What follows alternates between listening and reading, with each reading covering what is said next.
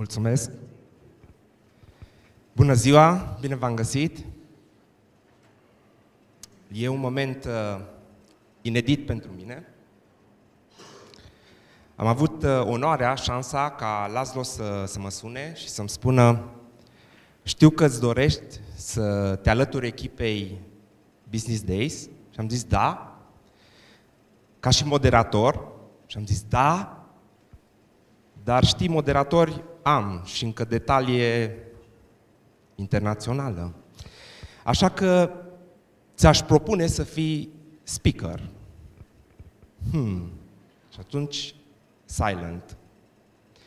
Cum ar spune Peter Sage, când, senzația când stai jos și ești plin de putere și la un moment dat te ridici și parcă în zona de stupidity gaze ți-a luat respirația. Ă, da. M-a provocat, am spus da și iată-mă aici, în fața voastră, să vă prezint despre viitorul locurilor de muncă în cea de-a patra revoluție industrială. Bineînțeles, ca un conformist sau conștiincios, știți, din analiza personală, am pregătit o prezentare. Dar am avut șansa, ca înaintea mea, Adrian să mă trezească și să-mi arate că se poate și altfel, sub forma unei povești. Și mi-am descoperit talentul ăsta, uh, salut în sală partenerul care m-a invitat în Oradea, la clubul de business, să vorbesc despre leadership. Și bineînțeles, după 12 ani de creat echipe și dezvoltat uh, oameni, am povestit. Și la final îmi spune, știi, e deosebit. N-ai, n-a fost foarte structurat, dar ne-ai spus o poveste extraordinară, te rugăm să mai vii. Și de curând mi-am descoperit talentul ăsta de spus povești, de neadormit copii. Dacă ar fi soția, mi-ar spune, știi, te duci la 9 să te culci cu copilul și la 10 tu încă povestești cu el. Pleacă, că trebuie să intru eu în rol, în 5 minute l-am adormit. De ce? Pentru că pun întrebarea de ce. Și ce am învățat despre iepurașul țopăilă și ursul gub? Și ce și de ce? Și uite așa, timpul trece, ora trece. Ei, am conștientizat atunci când uh, Lasson mi-a spus topicul, nu este des, vorba despre echipă și dezvoltat echipă, ci e vorba despre impactul digitalizării asupra muncii. Și atunci am conștientizat că se întâmplă lucruri, da, în canapele tot tapiserii, tot aceiași muncitori puțin calificați montează și mecanismele uh, electrice, le înșurubează, dar în jurul nostru se întâmplă lucruri. Și atunci aș vrea să ne punem întrebarea fiecare cum ne adaptăm schimbărilor, schimbarea e un cuvânt, care se întâmplă în jurul nostru, într-un mod reactiv sau într-un mod proactiv, sau deloc. E și a treia variantă. Și vorbind de adaptare, nu putem să nu vorbim de inteligența umană. Vă dau o veste bună. O aveți la voi. Da, nu putem, nu putem să o lăsăm acasă. Ceea ce putem însă e să ne asumăm sau nu responsabilitatea să o folosim. Că de avut o avem. Și pe scurt e capacitatea de adaptare a omului la condiții, situații noi, un sistem inteligent fiind destinat să învețe în permanență din experiență. Cum spune John Maxwell, experiența neevaluată nu are nicio valoare. Experiența evaluată, din care învățăm ceva, are o valoare. Vorbim de revoluții industriale ca să punctăm de cea a patra, ne amintim prima în secolul, la finalul secolului 18, a doua la finalul secolului XIX, a treia 70 cu calculatoarele și ulterior cu internetul, vedem deja a patra nu mai respectă ciclul de 100 de ani, aproximativ. Timpul se comprimă. Și vorbim despre inteligența artificială. Hopa, nu mai sunt doar oamenii, nu mai există doar inteligență umană, există inteligență artificială. Ce ne facem? Și parcă văd o parte din noi, nu aici, nu în Cluj, nu în România, altundeva, care spun, păi da, or să ne ia roboții locurile de muncă, ce ne facem? Nu ne trebuie inteligență artificială. Ei, depinde cum punem problema. E inteligență umană versus inteligență artificială sau inteligență umană multiplicată sau multiplică inteligența artificială.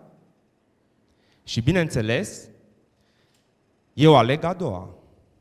Și nu numai eu, Hal Varian, Chief Economist la Google, spune omul ar trebui să devină un complement scump unor lucruri care devin ieftine.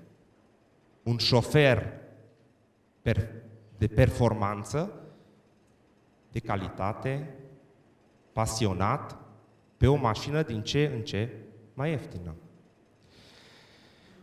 Cu ajutorul celor de la WagePoint, am să vă prezint un pic de istorie, pentru că uitându-ne un pic, istoria ne, ne, ne, ne confirmă trendul, prezentul și viitorul. Vedem că 34% din uh, femei doar erau angajate în 1961. Vedem că 46% din angajați erau în producție, da? fie în agricultură, fie în manufactură. Diploma cea mai căutată înainte de cea de-a treia revoluție industrială era în educație. Și iată o schimbare în 1980, după cea de-a treia revoluție industrială, businessul. Astăzi, multe joburi, acum 10 ani, nu existau. În top 10 cele mai căutate joburi în 2010, în 2004 nu existau. Milenialii, millennial și da? reprezintă în 2015 50% din forța de muncă. Și foarte important, vreau să vă uitați aici, persoanele de, da, vânzătorii din retail și casierii reprezintă, am făcut un calcul rapid, sunt jumătate din, dintr-o cincime, adică din, da, dintr-o cincime, 10% din locurile de muncă sunt vânzătorii de retail și casierii. Vă rog să rețineți. Un student, un student în anul întâi, da, pentru, cu patru ani, pentru, pentru un uh, studii superioare de patru ani, în anul întâi, ce învață în anul întâi, deja în anul trei este depășit. 65% din copiii care sunt astăzi la grădiniță da, vor lucra vor găsi alte tipuri de joburi în piața muncii. Vă spun toate astea pentru că a fost pentru mine un moment de conștientizare, un moment de aha, care aș dori să fie și pentru voi. Și ce fac? Pentru viitor, ce fac? Ce aș putea în mod proactiv? Să-mi dezvolt aceste skills-uri, aceste competențe, gândire critică, rezolvare de probleme, creativitate, bineînțeles, să mă împrietenesc cu digitalizarea, antreprenoriat și human to human, alături de B2C sau B2B, să reținem acest human to human relationship skills, competențele de relaționare umană. Am să trec repede peste cele trei categorii mari care au crescut 2005-2015 și vor crește în continuare 2015-2025. Numărul 1, specialiști în sănătate și îngrijire personală, categoria numărul 1 în creștere. Numărul 2, specialiști în business și servicii conexe, foarte multă analiză de date, Analytics.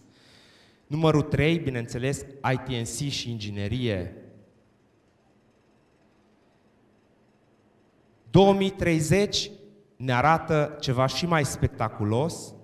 Bineînțeles, deci, decizia e a noastră, e a oamenilor, ce e etic și nu, pentru că regăsim aici child designer, body part engineer, nanomedic, memory augmentation surgeon, da? chirurg de uh, mărire a memoriei, chiar am văzut pe un site Collective Evolution, că este, sunt deja studiate de 10 ani, deja se aplică pe oameni cu, cu probleme de memorie.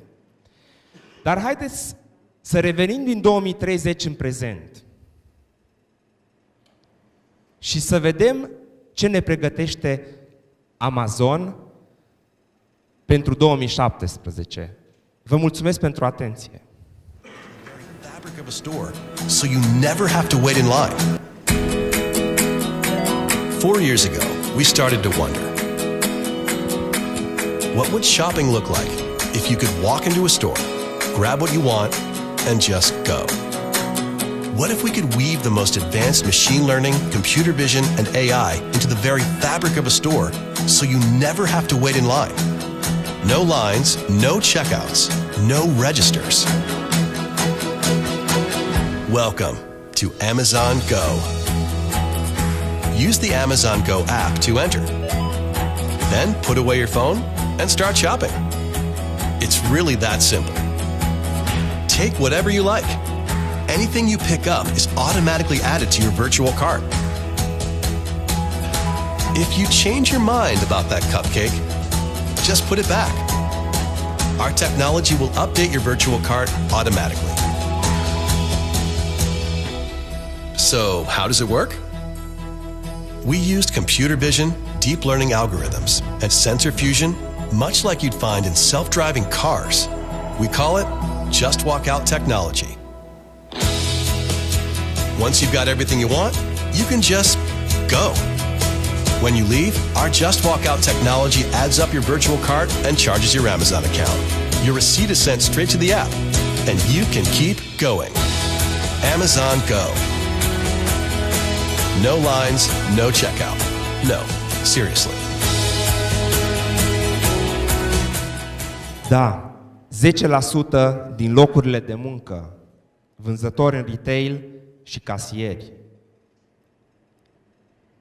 Închei prin a vă spune, be aware, take responsibility, make a difference through action. Vă mulțumesc!